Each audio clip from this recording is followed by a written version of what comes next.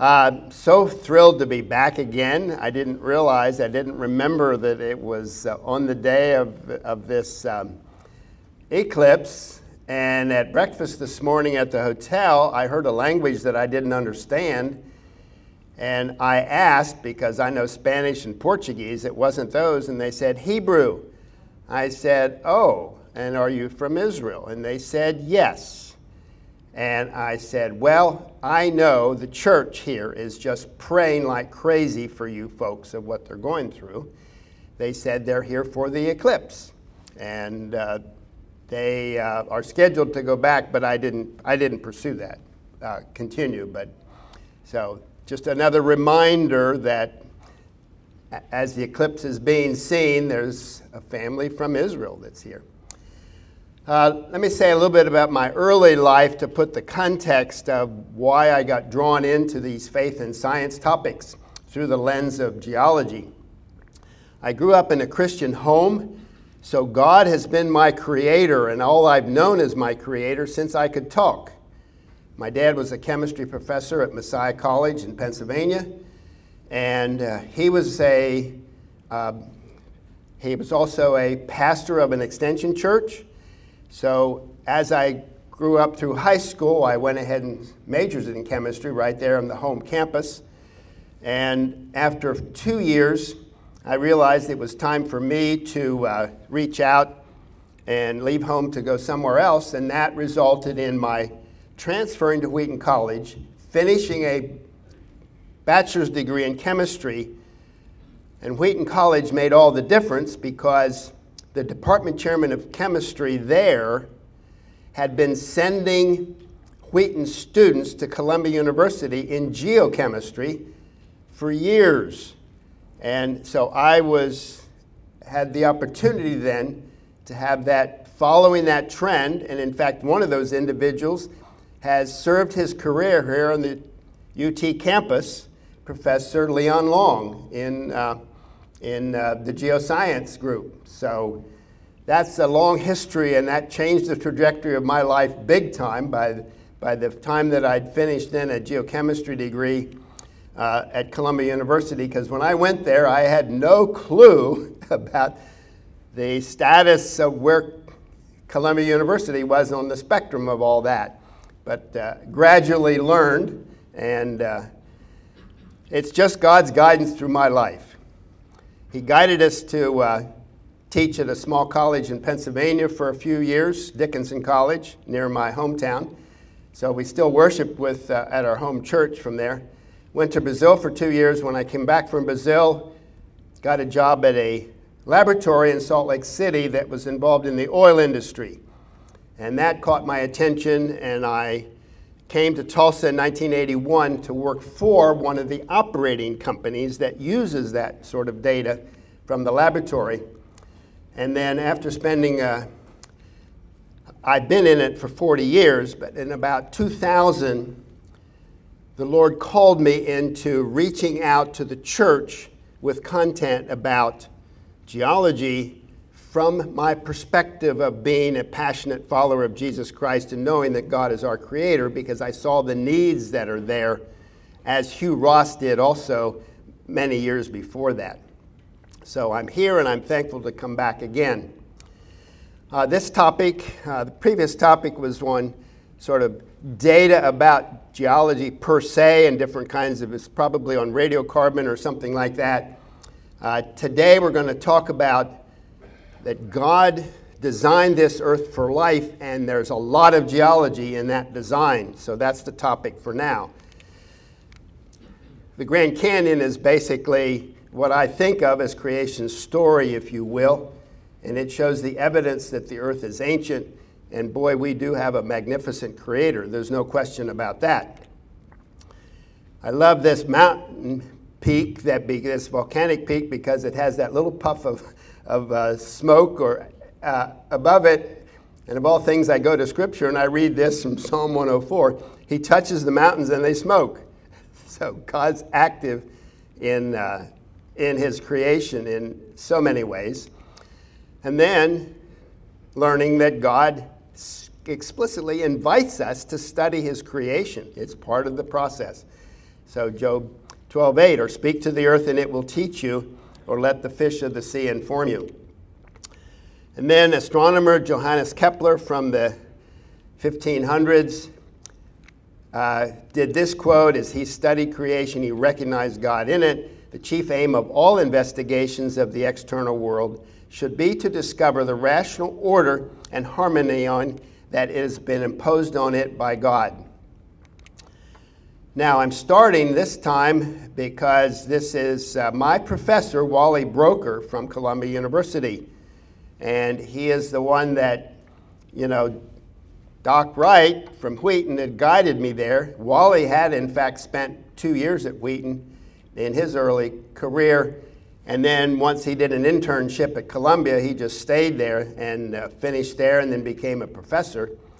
And he wrote a book, How to Build a Habitable Planet, written in 1998. And I was giving this lecture someone one time, and somebody in the audience said, Oh, yeah, when I took geochemistry or I took geology at my university, this was the book that they used. So he made that reference to me. So there'll be a couple of quotes in here for Wally. Uh, I will share with you that even though Wally had had a background in the Christian community, there was not evidence of that while I was there at, at, uh, at Columbia. And so I prayed for many years for him, for his salvation, but was not close enough to find out so I do not know if I will see in him in heaven. I certainly hope so, but that's between him and God. Multiple books have been written by both secularists and Christians about the ways this earth is unique. There's one called The Rare Earth, written in 2000. There's one Alone in the Universe, written in 2011. And then now I'll come to the ones written by Christians. This is uh, Guillermo Gonzalez and Richards, The Privileged Planet in 2004. They said, and they built the case in their book, the universe is extremely fine tuned for, for the earth, for, to have life that is here, and for discovery. I was really amused when an amateur astronomer that visited my own church because he was there on a display with some exhibits. And he said, You know, God has put us in a bedroom with a spectacular view of the universe. And it was significant because our Earth has a transparent atmosphere, which is rare of big planets. There's our solar system, and you'll notice that the solar system that includes the Earth is a little bit between some of those arms that have more concentrated solar systems and stars. And so we have basically space, you know, clear, transparent atmosphere to look out into space. And as you've heard from Hugh Ross and others, the Milky Way galaxy is about 100,000 light years across in terms of its size. Another by Hugh Ross is The Improbable Planet, 2016. I really enjoyed the way he put that together because each of the chapters gave details description of how the earth became humanity's home. One chapter was on the construction materials, if you will, you know, the nature of the earth. Another chapter was on the right, neighborhood that we are in the solar system, and then where our solar system of the sun is in the uh, galaxy.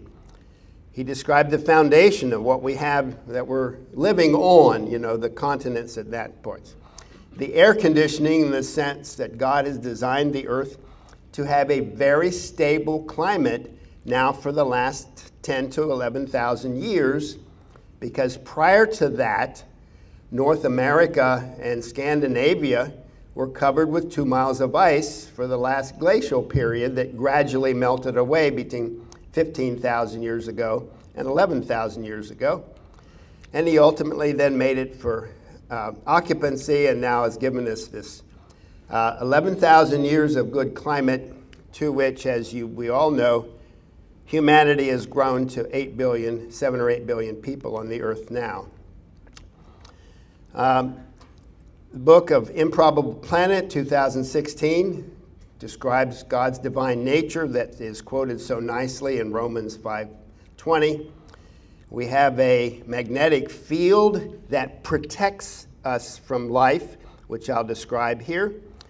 And we have plate tectonics that keeps this life with suitable conditions in the way that it regenerates nutrients for the marine animals to live, which I'll step through. And it helps maintain a suitable condition for life with that. Hugh Ross's recent book, now published last year, Designed to the Core, uh, is another where in this book, 12 of his chapters concentrated on astronomy, which of course is not my field, so I got lost quickly. But he does have five chapters on the Earth and the Moon, and I'll be sharing some of the things now with the Earth and the Moon that he has in that book. Just to give you a little sense of astronomy, I have a few things because they're fascinating. Um, the John 1010 project is a movie producer and videographer in California who produces fabulous movies, but he also produces short, eight to 10 minute videos that come online that he distributes to his email distribution. And it's worth watching because I get one of his announcements maybe about once a month. And I mean, you know, whatever he touches, bumblebees or, you know, butterflies, it's just incredible to see the handiwork of God. In the astronomy, he put one together that included a computer model of the universe that we have something like 2 trillion galaxy clusters, and the first part, those first 12 chapters of Hugh's book, covers these kinds of things. And it just blew my mind, but there was way too much for me to absorb. What I did learn, which was really fascinating, as we stepped through some of these is that we are including here a segment of where the heavy elements came from because in the initial conditions of Genesis 1:1 when the creation event occurred as a big flash very quickly of course the popular community it's the big bang but a friend of mine in Tulsa said there's no bang about it in the sense of we think of that as a bomb, and a bomb exploding is, is random chaos. This was a highly, highly organized event of the big flash when God created in Genesis 1 1. And the first step of creation was that of the initial material, the first elements were hydrogen and helium. It was about 80% hydrogen and about 20% helium.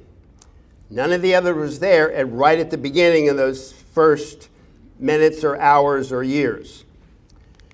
So where do the others come from? Well, it comes from nuclear burning in stars and supernovae.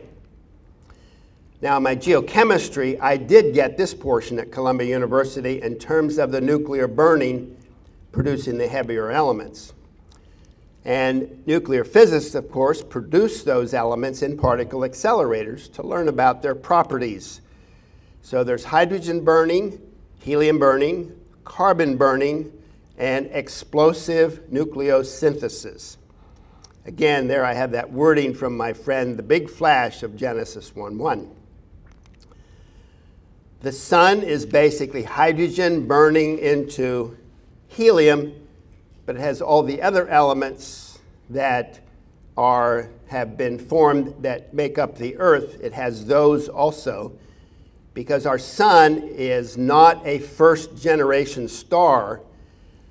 The Big Bang was about 13.8 billion years ago, and our sun is either a second tier or a third sta uh, status star in terms of the timing our solar system was formed about 4.5 billion years ago. And so that in that intervening time, supernovae were happening producing heavier elements and blowing them out into the space wherever they were. What astronomers have learned and geochemists have learned, nuclear physicists have learned, that in red giant stars that are close to their end of life, if you will, of burning, are made up of kind of onion layers of helium burning near the surface, carbon burning deeper down, and apparently even have cores of iron and nickel. So there's a lot of heavy elements in those, in those um, in those red giant stars, when they burned up the amount of energy that they have and they come to the position of the end of their life, the core collapses. It's a collapse of that massive star. There's explosive nuclear burning into the heavier elements.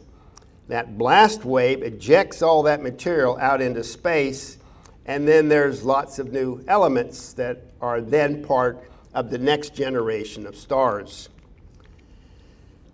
This one I had no idea back in the days of graduate school, but this comes out in Hugh Ross's book. Of all the periodic table that I showed you a few moments ago, Hugh says, and of course he's referring to astronomer, uh, what we know from astronomy, if the solar system, if the, if, if the universe were slightly less massive the nuclear burning process would only produce hydrogen and helium. now, don't ask me to understand that because that's way over my pay grade. but I just say, wow, that's all that would be there.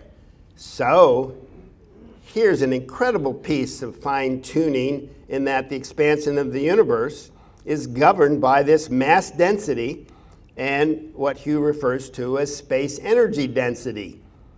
So it's incredible. All right? Astonishing degree of fine tuning. And this is even a secularist which is saying, who is saying, this is the most extreme fine tuning problem known to physics. There you get it from an atheist, okay? So he knows that. The periodic table, if the Earth were slightly more massive, okay, this would be the periodic table. There'd be no hydrogen, helium, carbon, nitrogen for us to, to build our bodies. There's probably some, uh, no, not, not even silicon and, you know, all the phosphorus and all the other stuff that goes into it. So that's incredible fine tuning. So here's what Hugh writes in chapter 9. The sun appears to have no twin. Among the hundreds of billions of stars in our galaxy, none possess all the specific features required for advanced life to exist. Thanks to its mass, its age, its unique interior structure, and elemental composition, the sun maintains its luminosity with five times greater stability than any other known star. Currently, its flaring activity level and emission of dangerous radiation fall below that of any other known star like it. These optimal features, along with the sun's optimal orbital position around the center of the Milky Way galaxy, holds major significance for the, for the possibility of life. So, incredible fine tuning and even atheists, as we'll see in numbers of times, know this.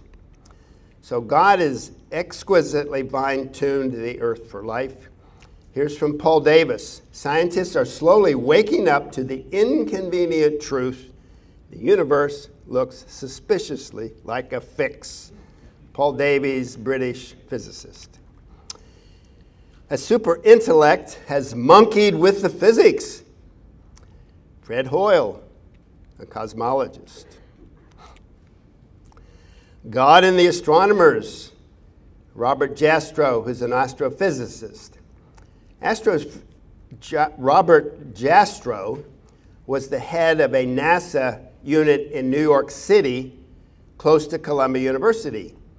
So we as geochemists and some others, say from the uh, Columbia group, would go hear some of his lectures And I was able to do that. And I heard his lectures, of course, not knowing that I would be quoting him here like 45 years later.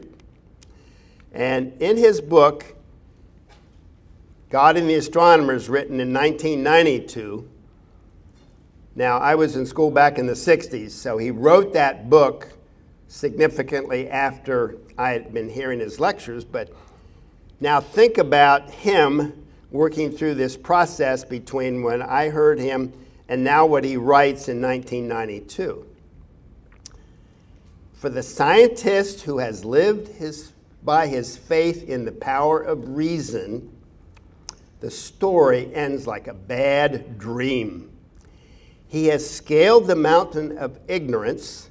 He's about to conquer the very highest peak, and he pulls himself over the final rock. He is greeted by a band of theologians who have been there, sitting there for centuries.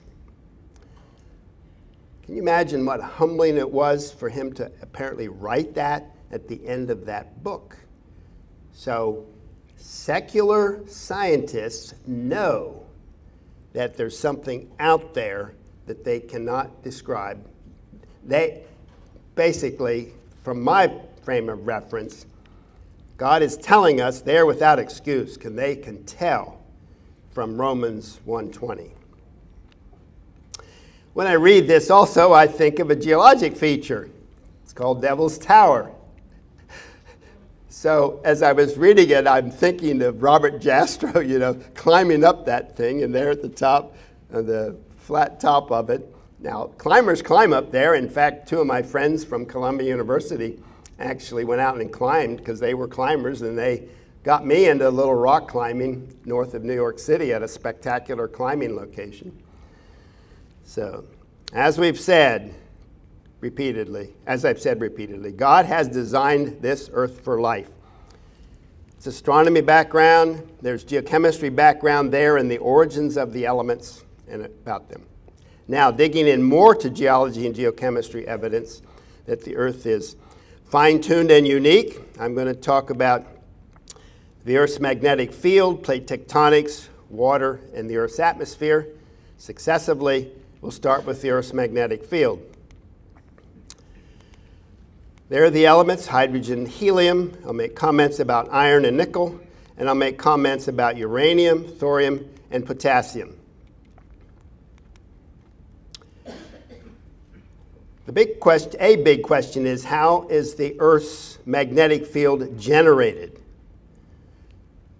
The interior of the Earth has a thin skin of plates on the top, then the mantle, and then down in the yellow in this, that's the core. The inner core is, it's the outer core is liquid and the inner core is solid. And there's some of the temperatures there on the slide that give you an idea of the temperature just at the outer core, say below the mantle, 4,400 degrees Celsius. That's hot. so the mantle down there in the lower part of the mantle, there's silica alumina rocks down there with other with with the other elements, but they're up at close to 4,000 degrees Celsius. It is not solid rock like we see out here. It's it's uh, rock, but it has some mobility because of the temperature. So sort of think Play-Doh. I don't know if geologists sort of have a sense of what word best describes the fact that it can move. But there's plates move because there are convection cells from that heat transferring from the outer core to the mantle. So there's the context of the significance of iron and nickel. The outer core that's yellow here is the liquid form. and includes iron and nickel in, uh, in, that, in their composition. The inner core is considered basically solid iron. I don't know if pure iron or maybe they understand some other things, but it is solid. And then there's a word we use for the mantle called somewhat plastic, okay? That has magnesium, iron, aluminum, silicon, oxygen, etc. Now, the significance of the uranium, thorium, and potassium, those isotopes are the long half life radioactive elements. And the point is, God included this Earth being formed with the right amount of those long half life radioactive atoms to have the interior of the Earth molten because smaller planets don't have a molten core. So it is the outer molten core that triggers electric currents that then come into the magnetosphere that basically cause the dynamo to exist. There are currents of iron in that outer core and the convection and the Coriolis force that's generated because of the rotation of the Earth, and those moving electric currents uh, generate the magnetic field, and you can see the magnetic field lines and you can see one, mantle, one, one sort of model of the way they think about the generation of the magnetic field because of that molten core. Here's a slightly different uh, example of it that the Earth's dynamo today has that migration in the outer core and then the lines of the magnetic field. And here's a third example of the way phys- geophysicists wrestle with the issue of what's happening down there. How does that dynamo move around and have its forces and, and, and strengths and shape and all those things? What's happening to keep it going? Another big thing about it that I don't get in today is the magnetic field changes in strength. It's not just solid and fixed for history. It has gone through getting weaker and weaker, and it actually flips its polarity from the polarity today, which is normal, and flips polarity and reverses it such that the north magnetic pole is down at the south. So, again, lots of complicated physics that are hard to understand. And over the last 200 million years, there have been a couple hundred maybe 200, I think I counted 200 or 250 transitions of changing polarity from normal to reversed and reversed back to normal. And these have become incredibly powerful tools to help geologists understand what things happen. And although that it's not, I don't have slides in this talk, that is a significant reason that the whole geoscience community recognized that plates are moving as they are and being driven by plate tectonics, which has been learned over the last 50 years. Why is the magnetic field critical? It deflects harmful, harmful solar radiation and galactic cosmic rays from hitting us here on the Earth and damaging our DNA. Okay? And it protects the water that is in the atmosphere from being blasted away and being stripped off by that solar wind. Those are important because we have water here. That pathway shows the manner in which there's the Earth, the magnetic field, and then the solar radiation coming in from the left there, solar wind, and then it's being deflected around. Some of that solar radiation does get down into the North Pole and the South Pole, so, for the example you've heard about the aurora borealis and all those fabulous lights that you can see if you're at the right time in northern Alaska or northern Norway, and just incredible displays of beauty when the, when the solar radiation interacts with the Earth's magnetic field. So, is the Earth unique on this? The Earth is the only terrestrial planet with a strong enough magnetic field to protect life from damaging radiation? Bingo. So the answer to that question is yes, it is very unique. Now we'll step to the topic of plate tectonics. I'll start first with the Pacific Ocean Basin. And there's the band of the Emperor Seamounts, and or, excuse me, of the Hawaiian Islands and the Emperor Seamounts. How have these been formed? Well, down in the mantle, there is a hot spot that has been generating lava that spews as a plume up through the lithospheric and crust and builds the islands. And there, say if you will, recently there was the continued eruption in 2018 of Kilauea. So the big island of Hawaii was being built bigger and bigger uh, through that. Then in the past, several million years ago, the previous Hawaiian islands had been formed in a manner that I will comment about here in a moment, plus a lot of those emperor seamounts that are basically volcanic mountains, but the crust, the crustal plate, the Pacific crustal plate, slowly subsided as the plate cools and the nature of that Pacific plate crust. And so those submarine mountains are still up there, which we call seamounts. So you'll see the ages that are on here are ages that come from the potassium argon radiometric dating method. And the 2 million and the 4 million are the range in which the four or five major Hawaiian islands are. Of course, Hilo, Hawaii, uh, the big island, of course, is current. It has a radiometric age there. Uh, one that I show in some of the slides has 400,000 years. So it's the recent one, and the others are a little bit older. Now, the point is this whole series of islands and seamounts has a very regular increasing age the whole way up to the Aleutian Island chain, up by the Russia's Kamchatka Peninsula and the end of the Aleutians. That pattern is fairly straight, and over that 3,700 miles, the average movement has been about 2.9 inches per year. Well, what drives the process of plate tectonics?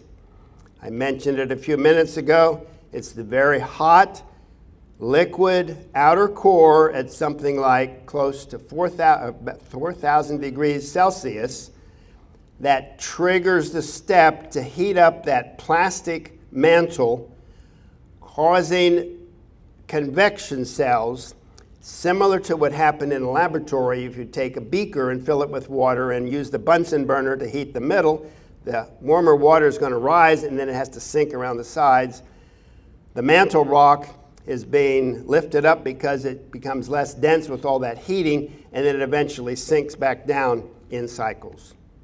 This is triggering the separation of North America from Africa over 180 million year time period that I'm going to show and it ends up producing new, fresh, oceanic, basaltic, crustal rocks continuously over that time period. And that's where those magnetic reversals played out that could be detected and confirmed.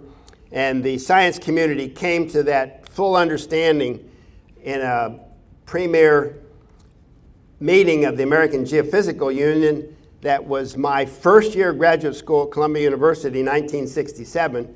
So I was there at these, the, at a very significant highlight, sort of a summit of, finally, the science community has accepted the fact that continents move.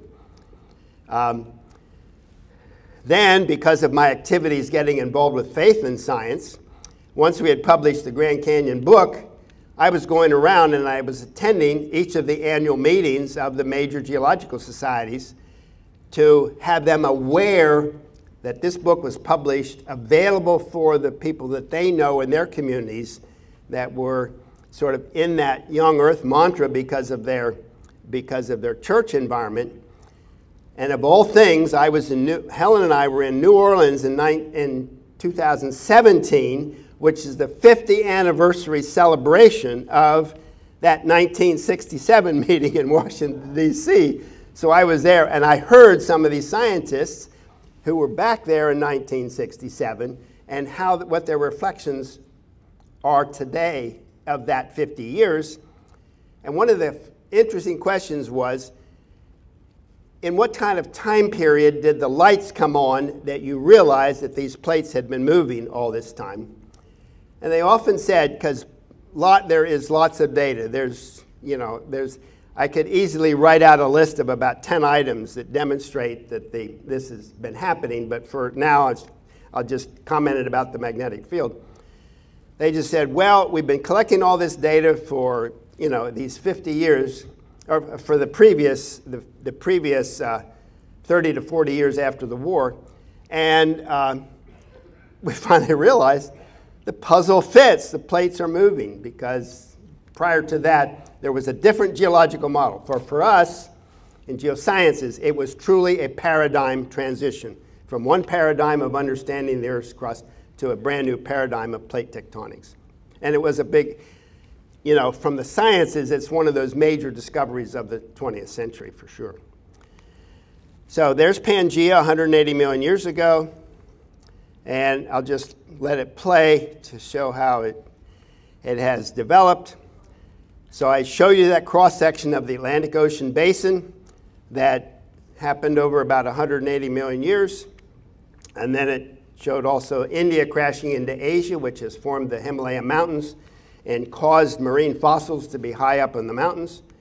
And overall, that separation, if you calculate the uh, distance and the time works out to about one inch per year. And uh, I, I, I, found in this slide, actually, they said this is confirmed that this is continuing today because it's measured by satellite. So now let's step to the life in the oceans. That requires carbon, calcium, sulfur, phosphorus, and nitrogen to thrive, and they must be there. But as the plankton and corals grow constantly, those nutrients are being removed down into the sediments. So it's depleting the ocean of those nutrients for these species to live. So that gets buried down in the sediments, but then eventually an erosion then of the rocks up in the continental surfaces are delivering the nutrients back to the ocean. And in the ocean, then they're used, go into the sediments, and they get recycled back into the circle. So here's a interesting context of uh, the, uh, this paradox of trying to understand it. The tectonic recycling of oceanic and continental crust holds the key, balanced against the continental, the continual and massive loss of minerals to the seabed Tectonic recycling replenishes the oceans with continental runoff by the reaction of water with upwelling magma at the mid-Atlantic at the mid-ocean ridges. This is uh, from author Michael Denton uh, in a book called The Wonder of Water. So these are examples. So plate tectonics promotes biological productivity which I've described. It promotes diversity, which is a hedge against mass extinction, and it helps to maintain uh, equitable temperatures that we have because of a, of a property that I'll talk about here in a few minutes. Um, Brownlee and Ward, rare earth, those are secular scientists. It may be that plate tectonics is the central requirement for life on a planet that it is necessary for keeping the world supplied with water. So people are understanding it. Is it unique? Earth is the only planet in our solar system to have plate tectonics. So that one we can put a yes behind also. Now to water. Four requirements for uh, the planet to have liquid water and sustain life in that the fact that the planet has captured a large ocean. The water has migrated, say, from the Earth's interior to the surface. The water has not been lost into space, and of course, it exists as a liquid that we know. So, from Wally Broecker, How to Build a Habitable Planet, he highlights these. So the Earth is habitable zone where the liquid water is possible. Only Mars might be. So as one of the leading geochemists that's lived in the, in the, in the last 50 years, this was his take. And here's what he wrote The Earth is about one half of 1% by weight water. The factors that lead to this particular capture efficiency are not understood. Based on the observation that the Earth is depleted in potassium and other moderate volatile elements, our continent, our planet would not be expected to have any water. Somehow, Earth just got the right amount of water to support life. So there is elements of mystery of how we have so much water. So that's still need for more research. Whether we'll figure that out better in the future may be unknown. Part of the factor of Earth is a proposal about what's called a frost line. And this comes from the two Christians, Guillermo Gonzalez, in, uh, in their book. An important concept, the snow or frost line beyond which volatiles, mostly water, condensed and remain in solid state as ice. In the early solar system, the snow line was between the orbits of Mars and Jupiter. So again, one of these things that further out Jupiter and the rest of the planets, any water would be ice because of temperatures. We're in a Goldilocks zone distance from the sun to have this equitable temperature. Here's one proposal for the solving that water mystery. He's free to put it that way, that we don't know too well. The origin of Earth's water is debated. The inner solar system was too warm to have retained water ice, and ice. So terrestrial water is thought to have been supplied by hydrated minerals that originally formed in the outer solar system and then in some manner migrated inward. So those are things that are wrestling with. And of course, any science always has questions to wrestle with, or there wouldn't be science. Okay? Is the Earth unique to not lose water over time? For sure it is, because unlike Mars and Venus, it has retained its water so it comes to a yes, very unique again. Last topic then is the Earth's atmosphere.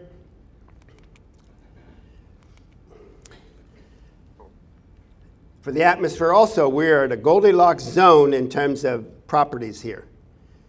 The air pressure of the atmosphere has to be light enough to allow evaporation of water from the sea oceans, but heavy enough to destroy asteroids that come in and come into the Earth, and the vast majority of asteroids that are, small, of course, get burned up really quickly, and we see shooting stars.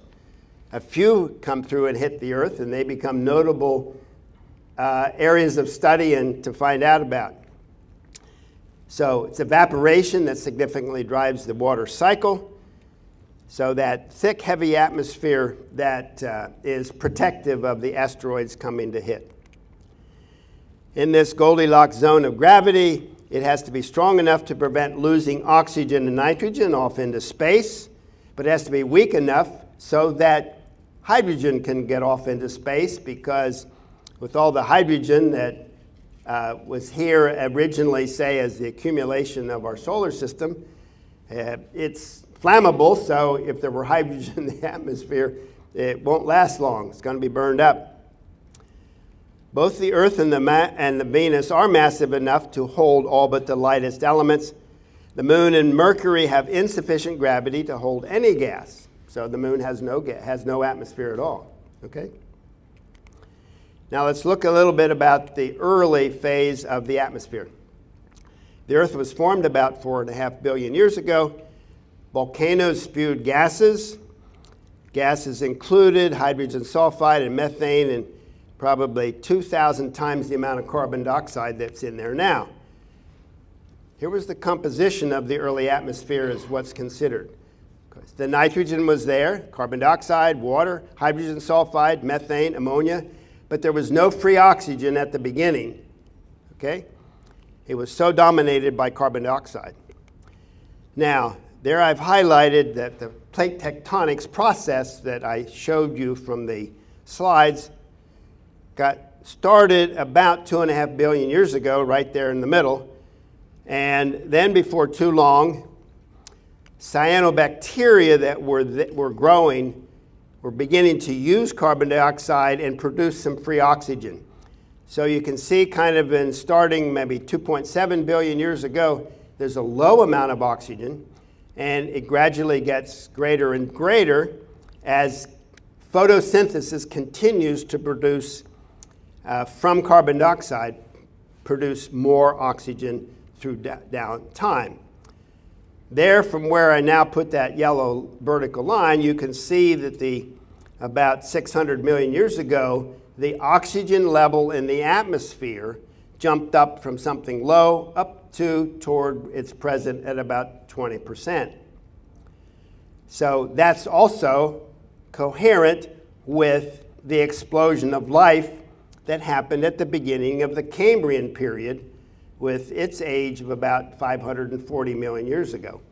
So those things hang together in that once there was free oxygen in the atmosphere up at reasonable levels, then animals could grow and live. The composition, oxygen has to be high enough, greater than 17%, to sustain biological re respiration. Uh, it has to be low enough so it get, doesn't get too high to prevent some uh, explosivity and potentially some toxicity to life. So there's a balance in between. Ultimately, this 21% is reasonably optimal in terms of the sweet spot that we have today.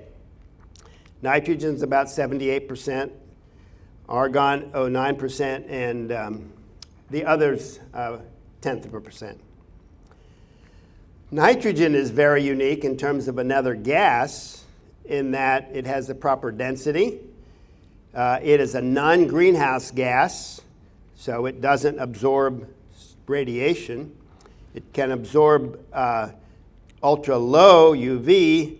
It is not toxic to life, it's not flammable. Uh, it's hard to liquefy, it takes a very low temperature. It is uh, non-reactive, it's acidif- uh, non-reactive, it's not acidifying. So it has a low solubility in water, so it doesn't move from the atmosphere into the water and be used up in something else.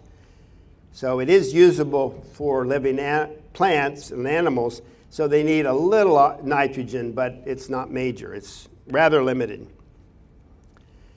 Now, this combination then of plate tectonics and water helps to be a global thermostat, if you will, moderating our climate in this in this case today at a level that is basically 10,000 years of, of very habitable climate around the world in a reasonable way.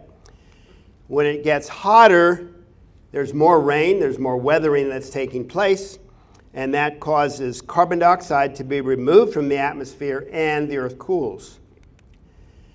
If it gets much cooler, there's less rain, there's less weathering, and then carbon dioxide builds up in the atmosphere and the earth gets warmed up.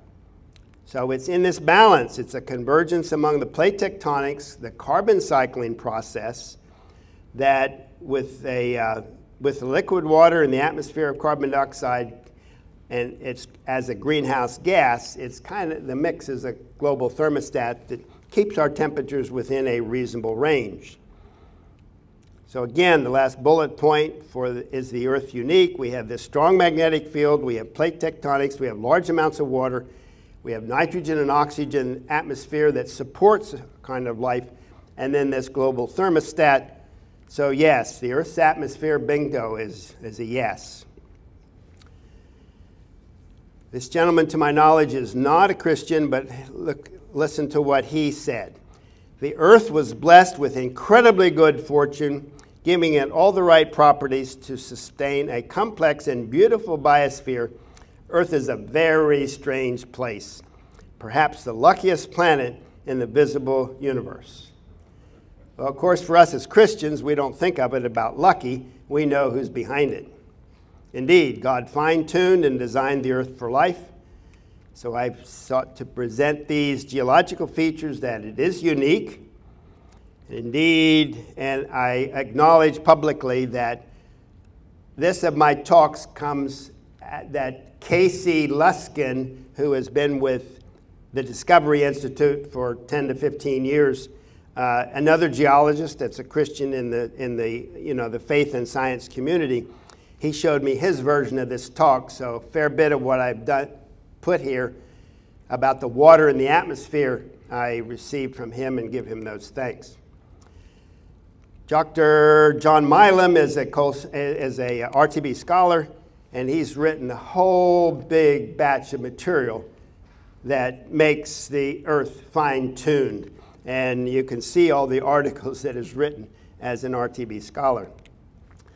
That John 1010 project that I mentioned earlier, uh, that videographer put together about a, a 10 minute uh, video that came to me by email, and he included the fact of the things that I've said. We have liquid water, we have the correct type of home star, it's an optimum distance from the sun, it's an optimum rotation rate, it's an optimal position, position in the galaxy.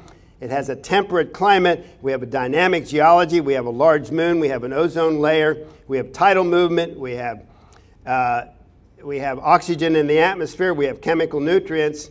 We have protection from meteorites. And we have protection from solar radiation.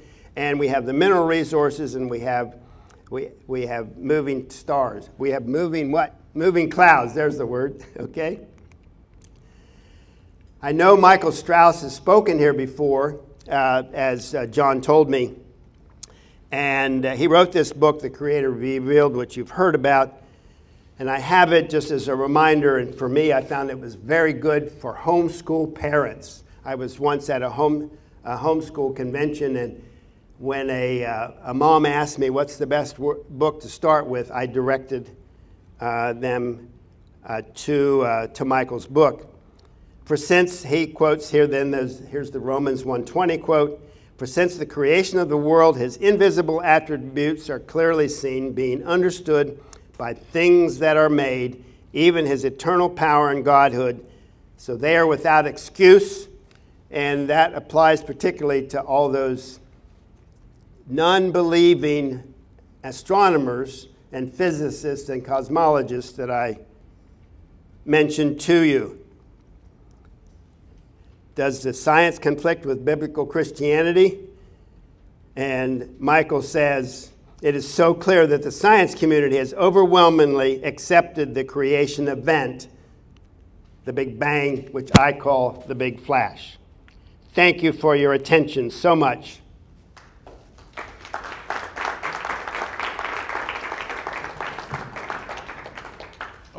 Thank you very much for that. So we will uh, keep our eye on the clock and make sure that we're, we're wrapped up by uh, 11.40, 11.45 at the latest. So uh, do you want to have some questions real quick? Hopefully, uh, please, we can get those going. So uh, two rules, as we always have, please, especially with the limited time that we're going to have, make sure you ask a question. If you need to set up your question with some commentary, then please feel free to do that, but please don't go on and on and on and on with commentary and, and not have a question. Uh, second rule, I'm the president, I get to ask the first question. so, I'm actually going to ask two questions. Uh, I'm going to ask one question that came up yesterday when you were talking to students, which I think would be good for the students here. And then I have my own question. So, uh, you mentioned that uh, our planet is the only planet in the solar system that has the uh, magnetic field and plate tectonics. So the question came up, how do we know that? How do we know that other planets don't have that? Second question, I have read about the uh, reversing polarity before, and I understand that there's a signature that confirms that.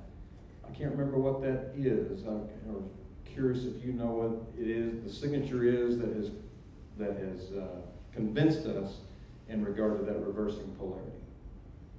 Two questions. So the first one was, first one you should have left me answer that right away. Magnetic field and the te plate tectonics. How do we know that other planets in the solar system don't have, have uh, our satellites that have traveled out to the various planets can detect the fact that if there were if there were a magnetic field, so, because the magnetic field you saw the, all those those lines of the magnetic force do come out into the atmosphere so it can be detected. So that's that that's a reason that's that reason. Okay. And then the reverse and, and then the reverse in polarity. I don't know if by key you mean signature. It leaves evidence. Yeah. The, the physical evidence is that an igneous rock, okay, that is formed on the earth now, so, such as those basalts that have been formed over the last 180 million years, the iron minerals that are in that liquid orient themselves in a magnet. So think of rocks as having little magnets in them. Maybe that, that'll help to say. Now, I don't know what that quite looks like in the rocks, but the point is, uh, I'll use the, the uh, sort of analogy that, yeah, think of some of the minerals as being small magnets. If that is a liquid, those small magnets can just move around in all directions. Once that rock turns to a solid, those magnets are frozen into that orientation in the rock. So then, as we go out and find the rock today in its orientation, we can tell if the magnetic field was normal or reversed with that piece of rock. Across the Atlantic, the, the ship that I was on, the Conrad, as we were steaming along, we had four or five different pieces of equipment that were running all the time.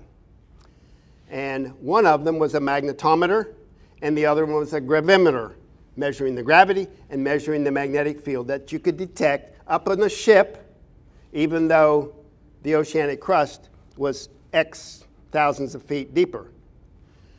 So it was the geologist that began to plot across the Atlantic. So they get signals, and so they plot the data so that if it's normal reversed, it's like this. So at the middle of the Atlantic Ocean basin, it's normal. You come out a distance, and then the, the, the magnetometer detected reversal. So then that signal dropped down. And then when it came back to normal, it would come back up. And let's say there's a longer period of normal and then went down. So that's a magnetic tape developer.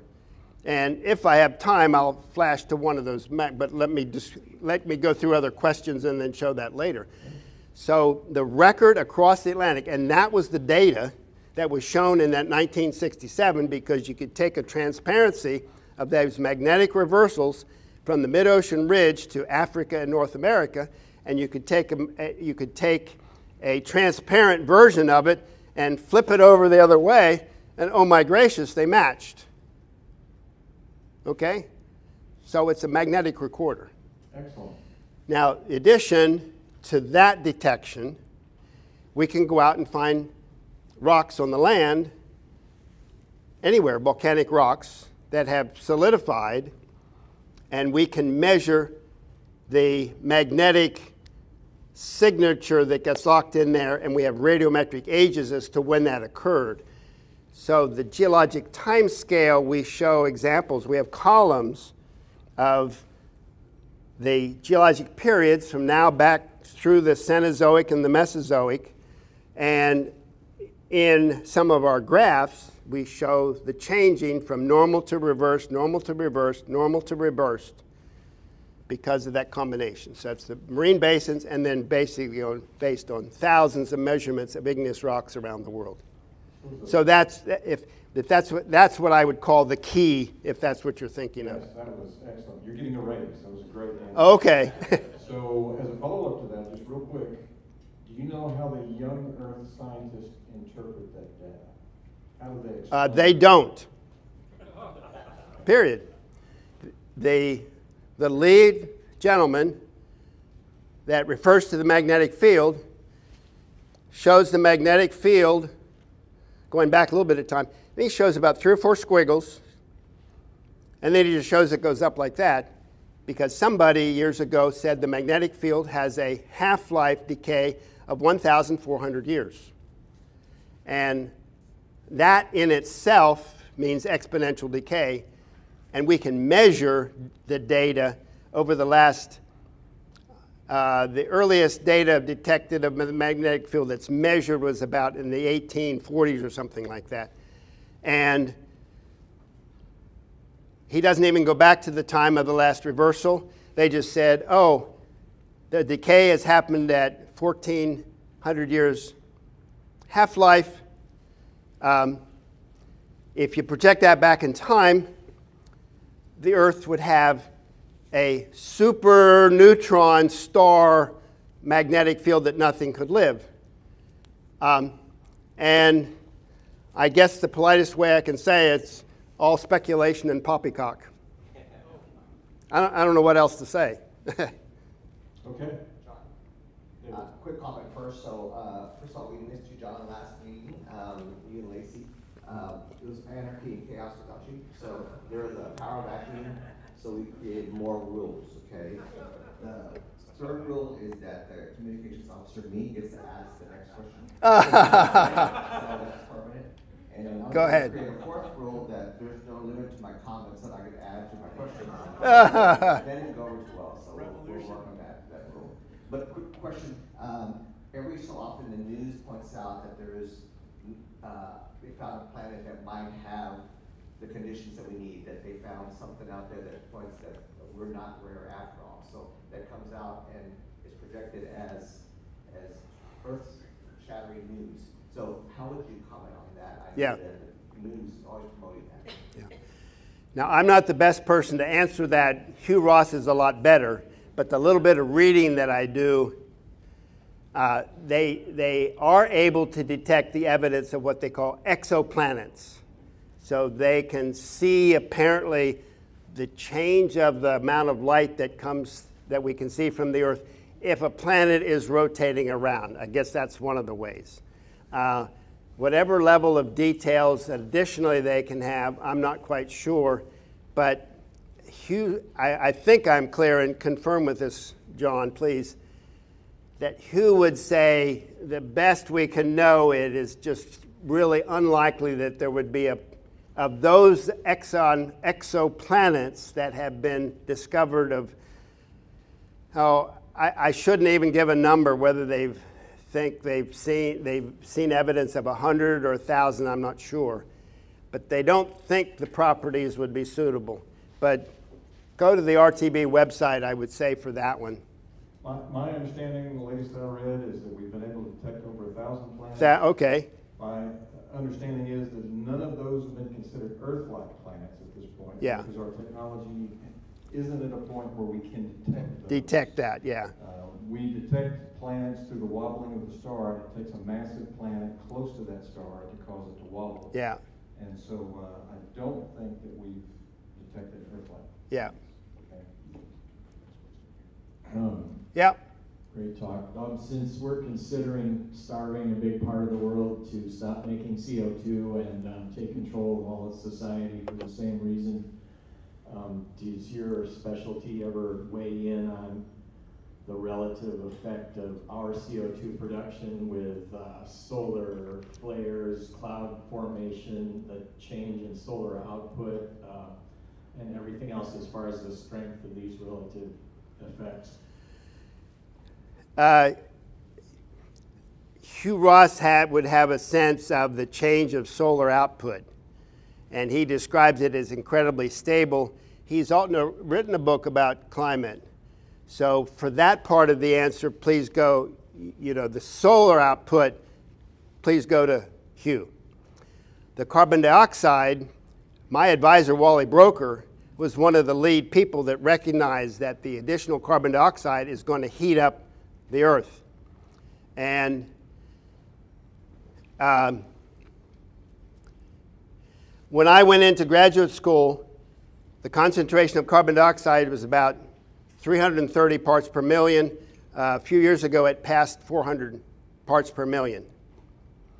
And Wally Broecker has written about climate change, and he describes in uh, one of his papers or a book about that topic, he has drawn a caricature of a, of a, of a tiger, okay, or a, or a, a big animal, a, a ferocious animal. And he sees mankind there, sort of back at the hip of the canyon, poking his hand into the butt of the, of the, and you don't know how he's going to respond. Now, we see Antarctica, the Arctic ice sheet and the Greenland ice sheet are melting. Sea level has been rising about, and I don't know, something like a quarter of an, uh, quarter of an inch a year or something over the last. It's, it's risen over, over several hundred years by a few, in, a few inches, very few inches. So it's nothing like the vice president years ago that said things would be flooded in 20, 30 years. That the lie there was the time frame. But slowly sea level will rise because the ice that's there got there because sea seawater had evaporated and precipitated, forming those. In fact, when the ice sheets were on top of all of North America and Scandinavia, sea level was lower by 400 feet. Okay? And then it recovered, came back to this level about 11,000 years ago, but now this, the rise is going slowly. Um, and so climate change, yeah, is serious. Um, Wally Broecker, when I heard him talk actually at Wheaton College, he came back for a, sort of a 50th anniversary celebration or something that I went to because he was my advisor. And he just said eventually the humanity or the oil industry or somebody's going to basically, you know, we're paying a cost, if you will, that um, we're burning all this all this oil, all the, all the biosphere, and turning it into carbon dioxide, because that's the changes of climate are not 100% all mankind, but it's just like an extra blanket, if you will, on, on top of the already established process of solar radiation that's reaching the Earth. So, rising very, very slowly by comparison. Okay, um, my young Earth friends always say something about the marine life on top of Everest. It's uh, an evidence is because it was created, uh, was formed quickly. I heard you mentioned one word about the marine life in the Himalayas. Would you mind uh, expounding on that one? Yeah. Thank you. I opened one of my other talks here because let me say it, and then uh, and then once we have question, questions, I'll also begin to look at that. Um, the marine life, well, I showed you the, I already showed you the animation. I'll show that, I'll play that again. Okay? It breaks away from the south, it crashes into Asia. That's what caused those marine fossils to be up on the top.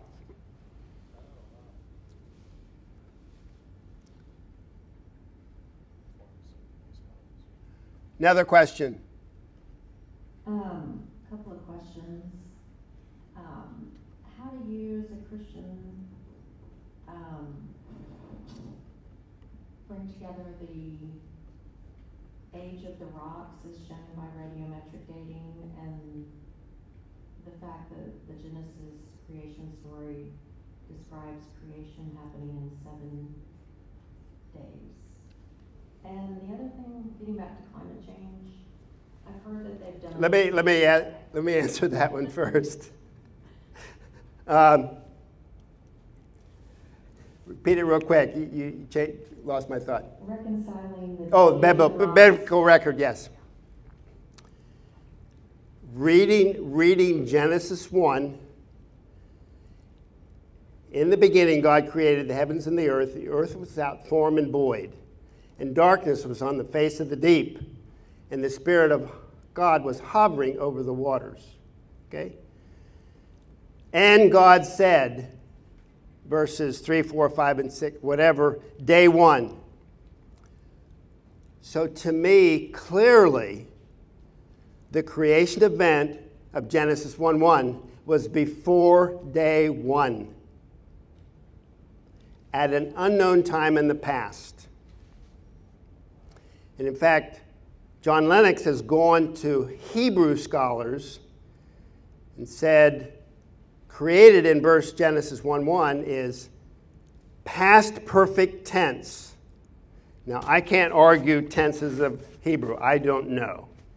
But if we write it, if it is In the beginning, God had created, had created the heavens and the earth. So that's one factor. The young earth community rolls Genesis 1 1 into day one when a third grade reading of the verses comes before day one. And the rhythm of days is always, and God said, like God is, is answering. And then in day one, he called the light day. So the word day means light. And the earth is such that it can be light all around the earth because God is outside. The other thing is, several of the days, well, my wife asked, my dad asked my wife, who'd grown up in a younger church, says, How did you know there were the days on the first three days? There was no sun in the sky. And she had lived her life to the time we had gotten married and never thought about that. So those are God days to me. The other thing is day, day six, is it? Adam was created. Adam named the animals and did a lot of other activity. So it doesn't lead. To me, the sense of day and evening and morning is, is not the way the Hebrew, even the Jews today, a day is from evening to evening. It's not. So the word evening grammatically I understand could mean the ending of something. And morning then is the beginning of something. So to me, and I have an article that's written by a, a uh, Christian uh, the, biologist who comes to this and he says, those are long periods of time, and then the evening represents the ending of that one period of time, and morning the beginning of the next period of time. So that's where I'm comfortable with it. Just to piggyback on that, before we go to the very next question, if you all recall, this past January we had an intellectual dialogue with an atheist author of a book, and, and the two of us dialogued together. In February, a scholar from the Institute for Creation Research is going to come down, and we're going to dialogue on the young earth versus old earth interpretation of the Bible. So just keep that in mind moving forward. So you got a question about climate change? Um, I, I understand that they've, they're seeing in ice cores that the concentration of carbon dioxide doesn't really match with the idea of climate and I guess global warming. Have you heard about this? No, because the, the warming process is the carbon dioxide that's up in the atmosphere, not what, what's discovered from the past we have physically measured on the big island of Hawaii, there's a detector, and it's been measuring the carbon dioxide uh, continuously uh, for, I don't know, 50, 60, 70 years. So carbon dioxide is increasing in the atmosphere. Here's the, uh, here's the video, the answer to the uh, Mount, Saint, um, Mount Everest. Um, seashells in the top of Mount Everest. So whoever answered that question, be watching this. Who, who asked the question? Please, here's your answer. Okay? Watch India crash into Asia. Boom. Now, I'm going to step over here because I want to point. Okay? 50 million years ago, there's India is still pretty far south as the migration put up. And this is oceanic crust that's in front of it. 30 million years ago, it's moved closer. This is going down under. Those are marine sediments. Those are sediments on the south shore of Asia. They're sitting there, okay? I have it listed in the slide marine sediments. Today, we find India and those sediments have been pushed up onto Mount Everest, and they're there today. And there's a picture of some of the sedimentary layers. Now, I showed this to a young Earth creation person in um, Multnomah Seminary in Portland, and she accepted a chance to have breakfast together. And when I showed that video, her eyes just popped open. So that's how fossils get up on mountains. My trip to Portland was worth her response. So that flood carried those up there does not fit with what we find that we have a physical process that uplifts mountains. Excellent, Ken. I think we're going to cut it off there. Thank you very much.